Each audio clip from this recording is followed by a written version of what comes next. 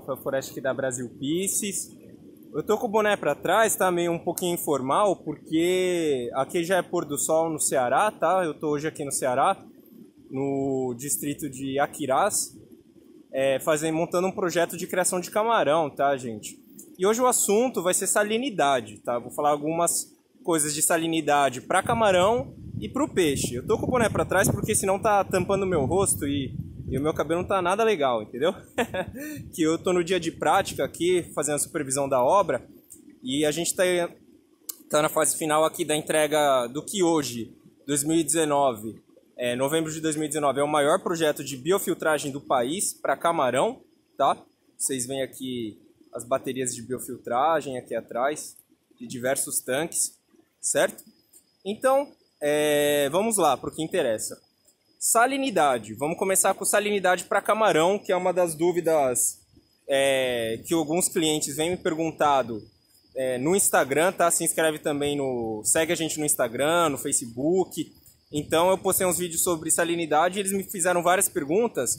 Inclusive o seguinte, eu tô com um cliente que ele, ele acabou a energia dele, o sisteminha dele é bioflocos, né? Sistema nosso de bioflocos. O floco acabou morrendo, né? Ficou aí mais de 40 minutos, uma hora sem oxigenação, tá? Zero de oxigenação.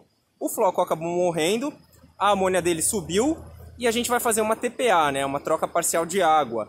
E ele me perguntou: "Ah, Rafael, eu vou pegar, a gente fez uma TPA de 30% com água marinha, tá? Água do direto do mar e hoje, né, a amônia deu uma baixada, só que a gente quer baixar mais ainda, porque o bioflux, quando ele morre, desestabiliza totalmente seu sistema. Então, o que, que ele falou? Ah, Rafael, eu vou colocar, fazer uma TPA de 50%, trocar 50% do tanque e colocar sal, né? Sal marinho, vou fazer a salinização artificial. É... Então, qual que é a vantagem do sal na água? Tá? Primeiro de tudo, o sal não é só o NaCl, né? Que é o, o sal em si, né? O sal é os sais que compõem a água marinha, os sais que você precisa para manter o seu camarão bem, né? Eles são é, um composto de sais, né? Que é o, o cloreto, né? A gente tem os sais de magnésio, nós temos o NaCl, nós temos potássio, temos vários componentes que são considerados sais. Então a gente precisa tomar cuidado com o balanço, balanço iônico, certo? Então se você desequilibra essa quantidade de sais, você acaba matando seu camarão. Então não adianta só colocar o NaCl, o sal puro, como o meu cliente queria pôr, certo? Porque senão, se você só utilizar uma baixa salinidade de completa, né, uma salinidade muito baixa, aí de 3 ppt, 2 ppt, ou utilizar só o NaCl comum, você vai ter problema de camarão de casca mole, camarão com baixa imunidade, camarão propenso aí a infecções bacterianas, camarões, camarões com propensos a infecções virais. Então, a imunidade do seu camarão ele está estritamente relacionado ao componente de sais totais da sua água, tá? Os sais totais, micronutrientes, alimento vivo, alimento orgânico, além do, da, do complemento que vem na ração, certo? Ah, Rafael, mas se tem um complemento na ração, eu preciso fazer o controle de sal na água? Precisa. Igual eu falei, o camarão, é, ele é um crustáceo, certo? Então, ele tem a, a bomba de potássio, certo? Que o que, que vai acontecer? O seu camarão ele vai começar a perder água para o ambiente ou ele vai é, começar a ser super hidratado, causando vários problemas é, osmóticos para ele, né? Vários problemas corporais, vários problemas de metabolismo, certo? Ah, outra coisa, ah, Rafael, e qual que é a salinidade ideal para eu trabalhar? Olha, nos nossos projetos eu gosto de trabalhar aí com 15, salinidade entre 15 até 20. Mas se você conseguir trabalhar com água marinha, 100% marinha, em sistema de bioflux, que é uma, um sistema de baixa reposição de água, perfeito, melhor ainda né? Em sistema de recirculação, que é baixa troca de água, maravilhoso, maravilhoso, certo? Ah, ah Rafael, e como que eu vou saber ah, o balanço iônico? Liga pra gente, trabalha com a gente, que os nossos clientes eles têm essa assessoria, eles têm esse controle do balanço iônico, eles têm é, a forma correta de se adicionar os sais, né? Por exemplo, um, um pessoal criticou a forma que eu coloquei sal lá no Instagram, que eu vou passar aqui para vocês, é, que eu joguei o sal direto no tanque de uma vez só.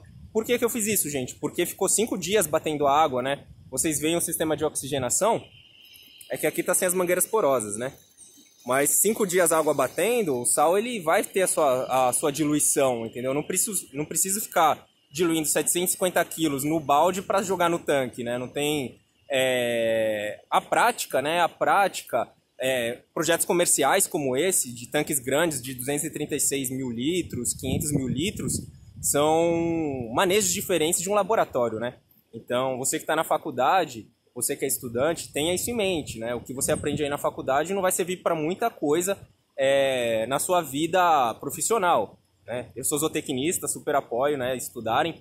É, mas, enfim, para o seu peixe, o que, que é importante? Importante tá com a salinidade na hora do transporte para evitar a infecção bacteriana quando o peixe se machuca no transporte. É importante vocês trabalharem com salinidade de meio por cento, 1%, é, um, é, meio, é, meio PPT, um PPT, né? É, perdão, eu falei porcentagem, mas é PPT. Meio, é, meio PPT, um PPT, pelo menos, tá? Para você prevenir doenças, principalmente tanques elevados, que sua taxa de doença já é super baixa, você leva ela lá para baixo. E outra coisa legal, gente, além de prevenção de doenças nos peixes, nos camarões, né? O sal, ele, ele baixa o nitrito, tá? Para quem tem o nosso sistema de biofiltragem, sabe que o limitante é o nitrito. Então você consegue adicionar o sal para dar uma baixada no nitrito, diminuir a sua TPA, certo? É isso quando ocorrer, só não pode subir demais por conta é, de fatores da filtragem, certo? É, que eu não vou citar aqui, como eu digo, sempre tem muitos concorrentes nossos nos assistindo. Então, por alguns fatores do nosso sistema de filtragem, você tem a salinidade correta para trabalhar. Então, tenham isso em mente. Ah, quais que são as vantagens do sal? É, alta de imunidade do seu animal, né? Controle osmótico, certo? Evitar que apareça é, doenças nos camarões, casca mole, evitar que é, você tenha perdas é, de qualidade, perdas de crescimento, ok? E no peixe, basicamente, você tem a alta da imunidade e você também vai ter aí é, a prevenção de doenças e diminuição do nitrito, certo? Então, liga pra gente, trabalhe com os melhores do país, trabalhe com quem realmente entende do seu negócio, com quem tem escala comercial nos projetos, trabalhe com a Brasil Pieces. Se inscreve no nosso Instagram, curte aqui o vídeo, se inscreve, indica para os amigos e é, deixa, no seu, deixa aqui nos comentários suas dúvidas, a gente responde todo mundo, tá? É, coisas que nós podemos responder, né? Que todo mundo aqui sabe que nos segue, que esse é um canal é, de profissionais para profissionais e infelizmente tem informações que eu não posso abrir para vocês porque graças a Deus nossas informações são informações muito importantes e tem alguns segredos industriais. Mas liga pra gente no 11 2021 5593 no contato arroba brasilpieces.com.br, se inscreve no Instagram no arroba brasilpieces e qualquer coisa, trabalhe com os melhores, trabalhe com a Brasil Pieces, ok?